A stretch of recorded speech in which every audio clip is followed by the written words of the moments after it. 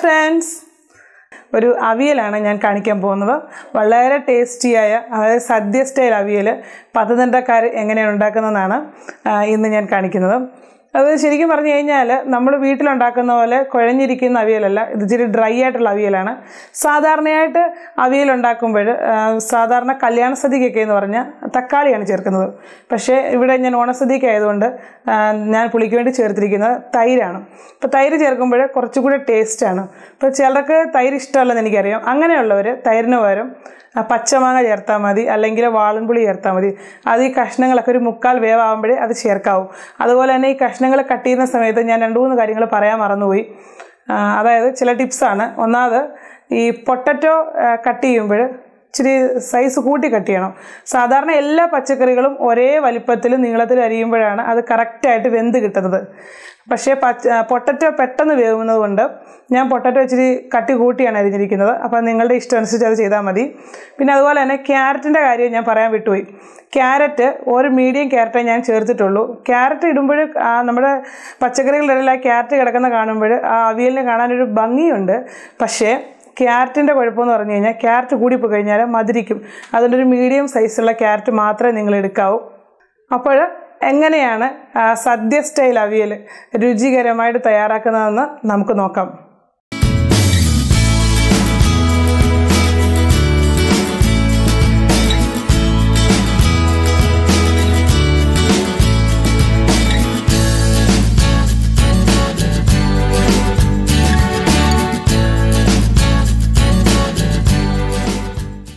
അപ്പോൾ ഓണസദ്യയുടെ അവിയൽ തയ്യാറാക്കുന്നത് എങ്ങനെയാണെന്ന് നോക്കാം. അതിനായിട്ട് ഞാനിവിടെ കുറച്ച് പച്ചക്കറികൾ എടുത്തിട്ട് അത് തൊലിയെല്ലാം കളഞ്ഞ് വൃത്തിയാക്കി കഴുകി ചെറിയ പീസസ് ആയിട്ട് നീളത്തിലുള്ള കഷ്ണങ്ങളായിട്ട് വെച്ചിട്ടുണ്ട്. അപ്പം കട്ടി കുറച്ച് നീളത്തിലുള്ള കഷ്ണങ്ങളായിട്ട് അരിയുന്നതാണ് ആ അവിയലിന്റെ ആ ഒരു കഷ്ണങ്ങളുടെ സ്റ്റൈലും. അപ്പോൾ ഈ അവിയൽ നല്ല ടേസ്റ്റി ആയിട്ട് അതുപോലെ അതിന് നല്ല ലുക്കും കിട്ടണമെങ്കിൽ കുറച്ച് ടിപ്സ് ഉണ്ട്. അപ്പോൾ അത് ഞാൻ പറഞ്ഞുതരാം. അത് അവിയൽ എടുക്കുമ്പോൾ ഞാനിവിടെ എടുത്തിരിക്കുന്ന കഷ്ണങ്ങളെന്ന് പറഞ്ഞു കഴിഞ്ഞാൽ ചേന. ഒരു ചെറിയ കഷ്ണം ചേന എടുത്തിട്ടുണ്ട്. അതുപോലെ ഉരുളക്കിഴങ്ങ് ഒരു മീഡിയം സൈസിൽ ഒരെണ്ണം എടുത്തിട്ടുണ്ട്. ഉരുളക്കിഴങ്ങ് കൂടുതൽ എടു- എടുക്കണ്ട. കാരണം ഉരുളക്കിഴങ്ങ് കൂടിക്കഴിഞ്ഞാൽ അത് കുഴഞ്ഞു പോകും. അവിയൽ കുഴഞ്ഞു പോകും. ഇതേപോലെ ഇച്ചിരി കട്ടി കുറച്ച് നീളത്തിൽ അരിഞ്ഞു വെക്കണം. അതുപോലെ ക്യാരറ്റ്. ഒരു മീഡിയം സൈസിലെ ക്യാരറ്റാണ് എടുത്തിരിക്കുന്നത്. അതും ഇതേപോലെ തന്നെ നീളത്തിൽ അരിഞ്ഞെടുക്കണം. പിന്നെ മുരിങ്ങയ്ക്ക എടുത്തിട്ടുണ്ട്. മുരിങ്ങയ്ക്ക ഒന്നുകിൽ നിങ്ങൾക്കിത് രണ്ടായിട്ട് കീറിയിടാം. അല്ലെന്നുണ്ടെങ്കിൽ ഇങ്ങനെ തന്നെ ഇട്ടാൽ മതി. അതുപോലെ പൊന്തൻകായ വേണം. അത് പൊന്തൻകായ നിങ്ങളുടെ കയ്യിൽ ഇല്ലെന്നുണ്ടെങ്കിൽ അത് പച്ചക്കറിക്കകത്തൊക്കെ വരുന്ന കറിക്കായ എന്ന് പറയത്തില്ല അത് അതില്ലെന്നുണ്ടെങ്കിൽ പച്ച ഏത്തയ്ക്ക അതായത് നേന്ത്രക്കായ ഇല്ലേ അതായാലും മതി. അത് ഞാൻ അരിഞ്ഞു വെച്ചിട്ടുണ്ട് നീളത്തിൽ അരിഞ്ഞു വെച്ചിട്ടുണ്ട്. അതുപോലെ ബീൻസ് ഒരു മൂന്നെണ്ണം എടുത്തിട്ടുണ്ട്. പിന്നെ കോവയ്ക്ക ഒരു മൂന്നെണ്ണം എടുത്തിട്ടുണ്ട്. കോവയ്ക്ക ബീൻസ് അതൊക്കെ എടുത്തിട്ടുണ്ട്. പിന്നെ ഞാനിവിടെ എടുത്തിരിക്കുന്ന പടവലങ്ങയും അതുപോലെ തന്നെ വെള്ളരിക്കയുമാണ്. ഇതൊക്കെ ഉണ്ടായാലേ നമ്മുടെ അവിയലിന് ഒരു ലുക്ക് കിട്ടത്തുള്ളൂ. അപ്പോൾ ഇതൊക്കെ നീളത്തിൽ അരിഞ്ഞു വെക്കണം. അപ്പം അതുപോലെ തന്നെ ഈ അവിയലിൽ നമ്മൾ സാധാരണയായിട്ട് വഴുതനങ്ങ വെണ്ടയ്ക്ക അങ്ങനെയുള്ളതൊന്നും ചേർക്കത്തില്ല. അതിന്റെ കാരണം എന്ന് പറഞ്ഞാൽ ഈ അവിയൽ നല്ലതായിട്ട് കുഴഞ്ഞു പോകും. ഇപ്പോൾ ഈ സദ്യക്ക് ഉണ്ടാക്കുന്ന അവിയൽ ഒരുപാട് കുഴയണ്ട കുറച്ചൊക്കെ ഡ്രൈ ആയിട്ടിരിക്കണം. അതുകൊണ്ട് നമ്മളത് രണ്ടും ചേർക്കത്തില്ല. അതുപോലെ ഞാൻ പറഞ്ഞില്ലേ പൊട്ടറ്റോ ചേർക്കുമ്പോഴായാലും ഒരു ചെറിയ പൊട്ടറ്റോ മതി. കൂടുതൽ പൊട്ടറ്റോ ആയാൽ അവിയൽ കുഴഞ്ഞു പോകും. അപ്പം നിങ്ങൾക്ക് ഏത് പാത്രത്തിൽ വേണമെങ്കിലും അവിയൽ ഉണ്ടാക്കാം. ഞാൻ ആ കഷ്ണങ്ങളെല്ലാം കൂടെ ഒരു ഉരുളിയിലോട്ടാണ് ഇട്ടിരിക്കുന്നത്. ഉരുളിയിൽ അവിയൽ ഉണ്ടാക്കുമ്പോഴാണ് ആ കറക്റ്റായിട്ട് ആ പാകം നമുക്ക് ചെയ്യാൻ പറ്റുന്നത്. ഇതിലേക്ക് ഞാനൊരു സവാള ഇട്ടിട്ടുണ്ട്. സവാള ചെറിയൊരു സവാള നീളത്തിൽ അരിഞ്ഞ് ചേർത്തിട്ടുണ്ട്. അതിന്റെ കൂടെ രണ്ട് പച്ചമുളക്. ജസ്റ്റ് ഒന്ന് കീറിയിടുക.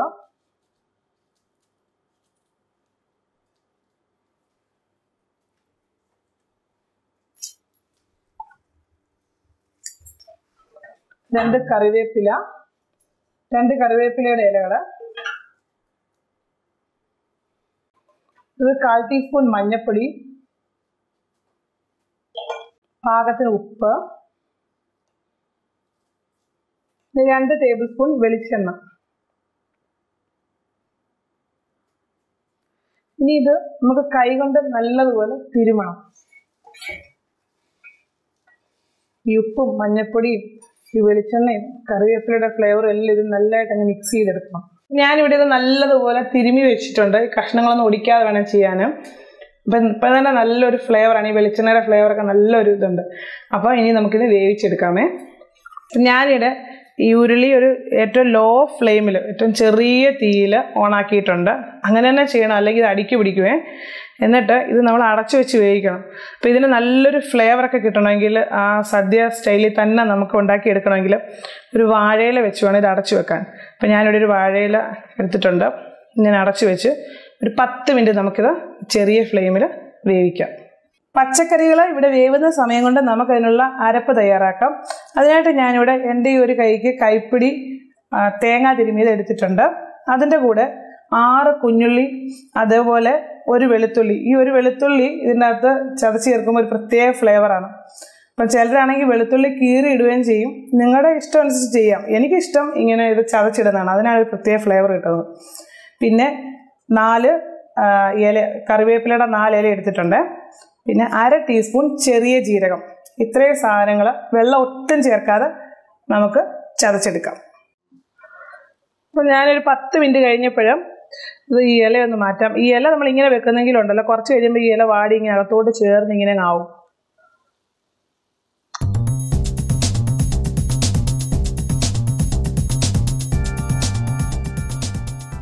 ജസ്റ്റ് ഒന്ന് മിക്സ് ചെയ്തിട്ട് വീണ്ടും ഒന്ന് കൂട്ടി വെക്കാൻ വേണ്ടിയാണ്. ഈ വെള്ളം ഒന്ന് വറ്റണം.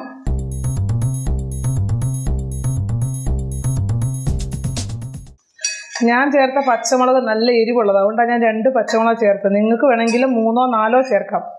കാരണം ഇത്രയും കഷ്ണങ്ങൾക്ക് ഒരു മൂന്നോ നാലോ പച്ചമുളക് ചേർത്താലും കുഴപ്പമില്ല. പക്ഷേ ഞാനെടുത്ത പച്ചമുളക് നല്ല എരിവാണ് ജസ്റ്റ് ഒന്നുകൂടെ ഒന്ന് കൂട്ടി വെക്കാം. എന്നിട്ട് അഞ്ച് മിനിറ്റും കൂടെ അടച്ചു വെക്കുമ്പോൾ ഈ ഇതിൽ വെള്ളം അങ്ങ് വറ്റും. അപ്പം കഷ്ണങ്ങൾ കറക്റ്റായിട്ട് പാകത്തിന് വേവും.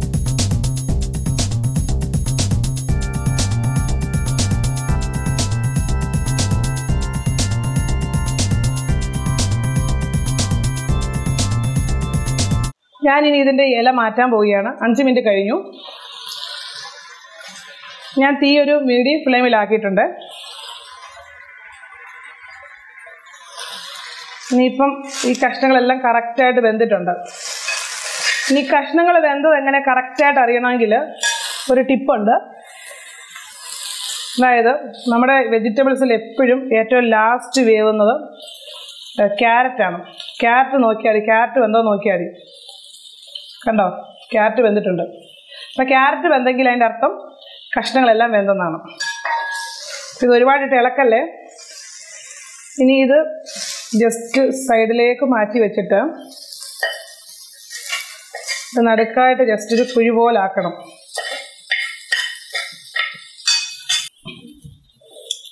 അപ്പം ഞാനിവിടെ തേങ്ങയും ജീരകവും ഉള്ളി എല്ലാം ചേർത്ത് ചതച്ചെടുത്തുകൊണ്ട് വന്നിട്ടുണ്ട്. ഇതിലൊട്ടും വെള്ളം ചേർത്തിട്ടില്ല.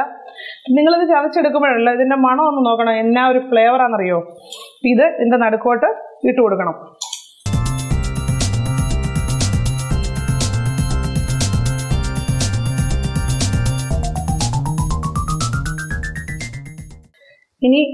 ഈ വെജിറ്റബിൾസ് വെച്ച് ഈ അരപ്പിനെ കവർ ചെയ്യണം.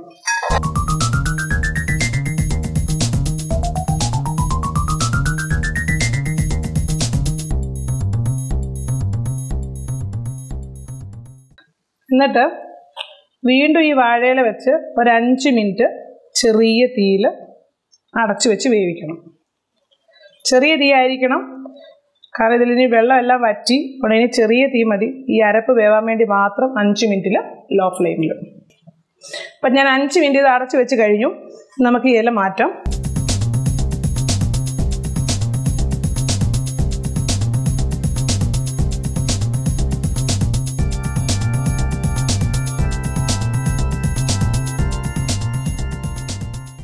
പിന്നെ ഞാൻ മിക്സ് ചെയ്തിട്ടുണ്ട്. ഇനി ഇതിലേക്ക് നമുക്ക് പുളിക്ക് ആവശ്യമായിട്ട് ഒരു ടേബിൾ സ്പൂൺ തൈര് ചേർക്കാം. ഈ തൈര് ചേർത്തിട്ട് നമുക്കൊന്ന് മിക്സ് ചെയ്ത് നോക്കണം. ഇത് കറക്റ്റ് പുളിയാണോ അപ്പം അത്രയും കറക്റ്റ് അല്ലെന്നുണ്ടെങ്കിൽ നമുക്കൊരു അര ടേബിൾ സ്പൂൺ കൂടെ ചേർത്ത് കൊടുക്കാം. മിക്സ് ചെയ്യുമ്പോൾ ഈ കഷ്ണങ്ങളൊന്നും ഉടയാതെ നോക്കണേ. ഇപ്പോൾ ഓണസദ്യയുടെ അവിയലായതുകൊണ്ടാണ് ഞാൻ ഈ തൈര് ചേർക്കുന്നത്. ഇപ്പം കല്യാണ സദ്യയുടെയൊക്കെ അവിയലാണെങ്കിൽ ഒന്നുകൂടെ ഡ്രൈ ആണ്. അതിനൊരു തൈര് ചേർക്കത്തില്ല. തക്കാളിയാണ് ചേർക്കുന്നത്.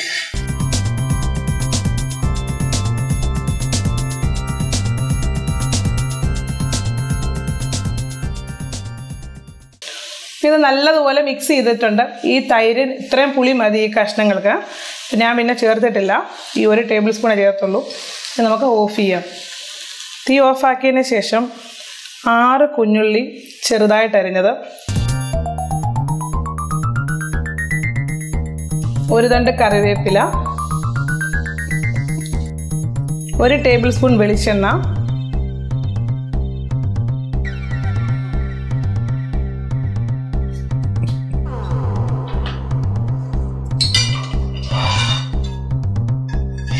ജസ്റ്റ് ഒന്ന് മിക്സ് ചെയ്തിട്ട്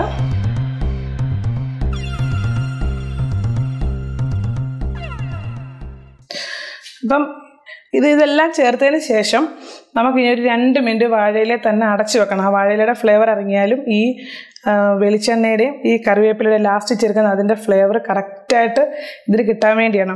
നിങ്ങളിത് കണ്ടോ? ഇതിനകത്ത് ഒരു കഷ്ണങ്ങൾ പോലും ഉടഞ്ഞു പോയിട്ടില്ല. അതിൽ പെർഫെക്റ്റ് ആയിട്ടാണ് കിട്ടിയിരിക്കുന്നത്. കുഴഞ്ഞു പോയിട്ടില്ല. അതുപോലെ ഇത് ഒട്ടും വെള്ളമില്ല. ഇതിന് ഉപ്പും കറക്റ്റ് പാകമാണ്. നിങ്ങൾ ഈ തൈര് ചേർക്കുന്ന ആ സമയം വരുമ്പോൾ ഉപ്പ് പാകമാണോ നോക്കിയിട്ട് വേണമെങ്കിൽ ഉപ്പ് ചേർക്കണം. ഈ വാഴയില തന്നെ രണ്ട് മിനിറ്റ് നമുക്ക് അടച്ചു വെക്കാം.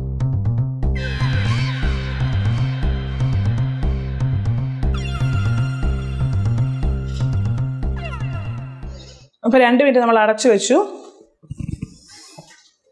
അപ്പോൾ നമ്മുടെ അവിയൽ ഇവിടെ റെഡി ആയിട്ടുണ്ട്. സദ്യ സ്റ്റൈൽ അതായത് ഓണ സദ്യ സ്റ്റൈൽ അവിയൽ ഇവിടെ റെഡി ആയിട്ടുണ്ട്. നിങ്ങൾ എല്ലാവരും ഇത് തയ്യാറാക്കി നോക്കണം. ഇതിന് നല്ലൊരു ഫ്ലേവറും നല്ല ടേസ്റ്റുമുള്ള പെർഫെക്റ്റ് ആയിട്ടൊരു അവിയലാണ് ഞാനിവിടെ തയ്യാറാക്കി നിങ്ങളെ കാണിച്ചിരിക്കുന്നത്.